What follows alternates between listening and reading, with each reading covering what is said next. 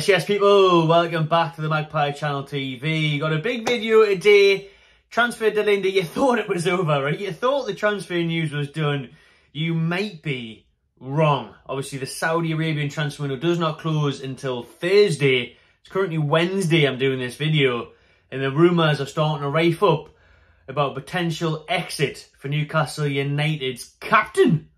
Wait and see on that one. Before we do talk about Jamaal Lascelles and his potential move to Saudi Arabia. I want to talk about an upcoming event in Newcastle this November. It is Purely Belter. Gerry and Sewell, the play at Live Theatre on the Quayside. I am buzzing for this one. Surely a lot of yous are fans of the Purely Belter film from back in the day. It was an absolute classic. Shearer's car got stolen, all of that. Two lads trying the best to try and get season tickets who are skint and can't afford it. Pretty much the story of me and Keg right now. No, you know I mean? Loads of Newcastle fans who can't get tickets, they like gold dust. So it's relevant that they've brought this back and they've put a modern spin on the movie. Really excited to see this one. I'm going to speak to the director, the cast, and tell you a bit more about it in this video. different backdrop today. You probably can't see it from there, but there is St James's Park in the background. But we are today to talk about the play that's coming up at Live Theatre on the Quayside this November. It is a return of the iconic Purely Belter movie from back in the day. Unreal film. Loved it as a, as a kid. You know, I had it on VHS that's how old that is. But the guys here are putting together a modern twist on it with this play that is upcoming at Live Theatre. It sold out last year at Whitley Bay. It was a big success. Some great entertainment in the area, and it's not like what some people may expect from the theatre. Listen, I'm not hoity-toity. I haven't gone to the theatre too often. I go now and again.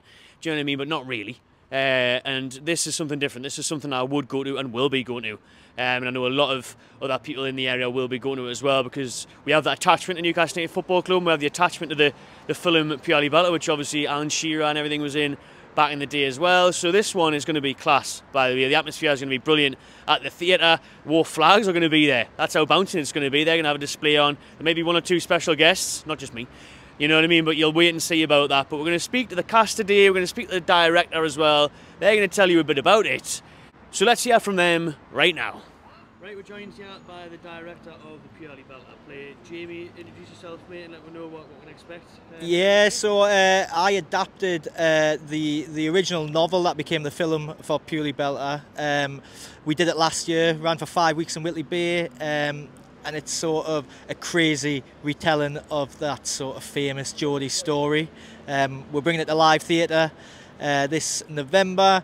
It's going to be full of loads of Geordie craziness. Um, it's just a really important story to tell now, we thought, uh, with the takeover and, uh, and all of that. Um, and it's just such an iconic sort of Geordie film that we thought needed a sort of live interpretation it is because when you think of Northeast films, you think of this and goal. I think would spring to mind for me and most viewers and most lads and lasses in Newcastle, and so it's good to get that modern twist on it. And it's relevant again now with the the gold duster tickets. Yeah, totally. Um, so the, our adaptation is set just before the takeover, so at the back end of the Ashley years. So we see a lot of that involved in it.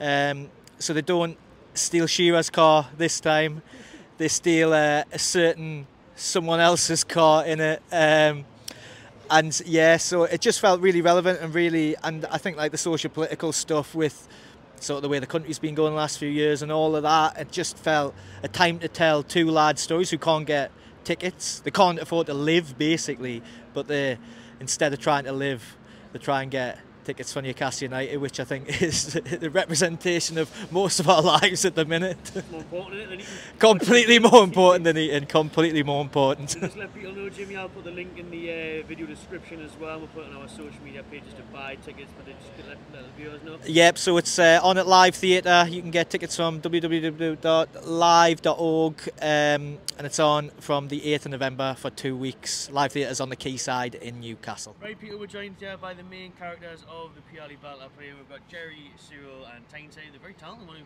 plays a lot of the characters in this one. That's you. Yeah? That's you. Pressure. Right, then you can start off, mate. What, what can viewers expect heading into this bit? Uh, so, I think they can expect something for everyone. Uh, the play gives a lot of hope. Um, and anyone else want to dive in? There's comedy, there's drama. And hopefully some dance. But Yeah, who, yeah. no, no.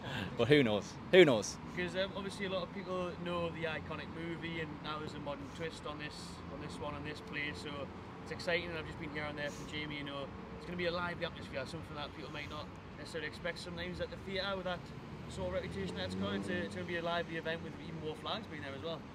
Oh yeah, I mean the fact that it's like so based on football, that's the atmosphere that you want in there. It's not it's not like a normal theatre audience that we were getting in the last one that we did, and we don't expect that in the next one either. So that's Yeah, I feel like it's lot of fun. perfect timing as well because there's a big buzz in the city at the moment uh, with Yeah, Newcastle definitely. United. So I feel like it's it's all teed up for us to, you know, knock it out of the park. Yeah. Because you wouldn't have been able to do this a couple of years ago under the previous regime. They were wanting tickets then. No, but exactly. So- Yeah, yeah. Exactly. So I think that's what that's what the uh, you know that's what the hope is brought back to the city, and hopefully uh, people will get that from the play as well.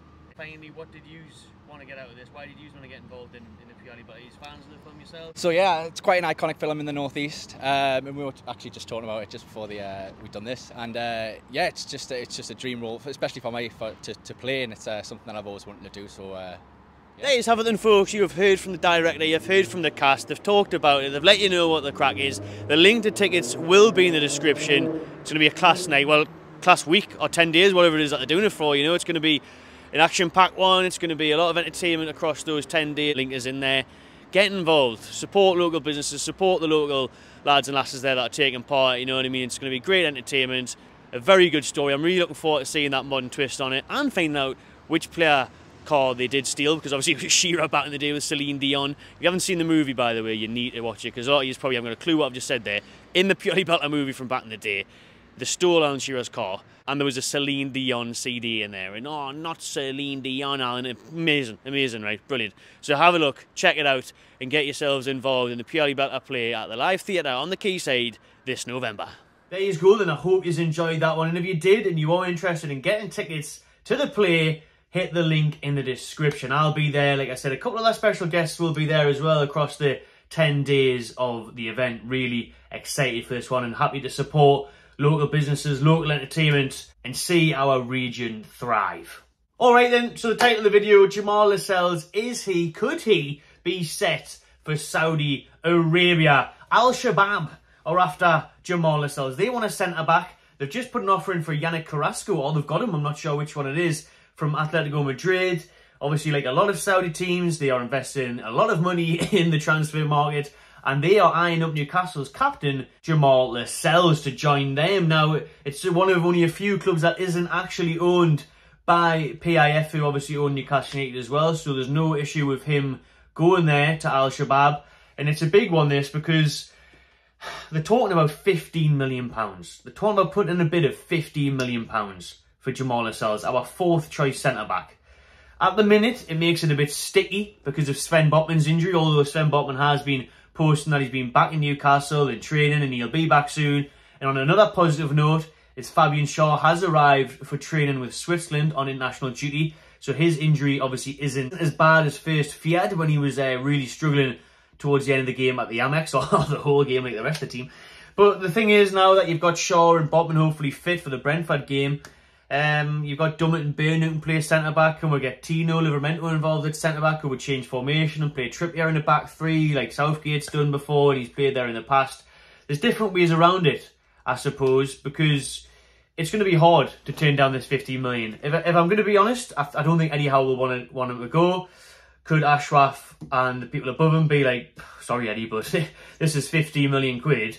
Talking about FFP, yeah? The same reason we had to sell on St. Maximin. Look at 15 million on the table for a bloke that turns 30 this November and for a bloke whose contract expires next summer. This time next year, if Newcastle don't obviously give him an extension, you'll be away. Jamaal Lascelles' contract runs out in the summer of 2024. So for a player that's got several months left on his contract, is about to hit 30, doesn't play anyways, is our fourth choice centre back, are you not going to sell him?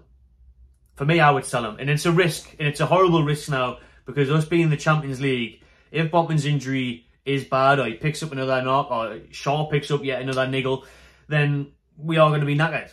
But to me, that goes back to us in the transfer market. I think if only this offer came in two weeks ago, when our window was still open, we would have accepted like that. We would have accepted half of the money. I think we would have accepted seven, eight, ten million. You know, so it would have been a done deal if it was a couple of weeks ago. But now we can't sign anyone. Can't sign Sergio Ramos, free agent, went to Sevilla. Not sure there's any other centre backs out there who's a free agents. I doubt it. Not, not worth having. And then let's listen. Alex Murphy. Alex Murphy, the young centre back for the Toon as well, did well in pre-season. You might just have to chuck him in now and again if injuries get bad. There's options there for me. I think I would sell. I would sell. Since his contract runs out next year, he's about to turn 30. He's a good backup option, don't get us wrong. But if you're going to get 15 million for him, and that's decent in terms of financial fair play, sell. And then you can bring in Burn, Dummett, Murphy, change formation, get Trippier or Tino in, in centre back. They've done that done that there before, so uh, I, I would be in favour of it. I would. Will it happen? I would. I would probably say no at this point, just because I think Eddie Howe will really put his weight out on this one and say we can't afford to lose them with, with, with Carabao Cup, with Champions League, with Premier League. We can't. We can't afford to lose them, and I get that. But my standpoint, there, I've just said there. There's other options not fantastic options, but there's options there. And for the money for FFP, if it means sell the sellers now and hopefully we get through to January without any serious injuries, and then we can really go out and buy a centre back for 40 million in January. You know what I mean? With that money we've made from the sales. I'm all for that, like, I really am. The window closes in Saudi Arabia on Thursday. Let me know what yous would do with Lascelles.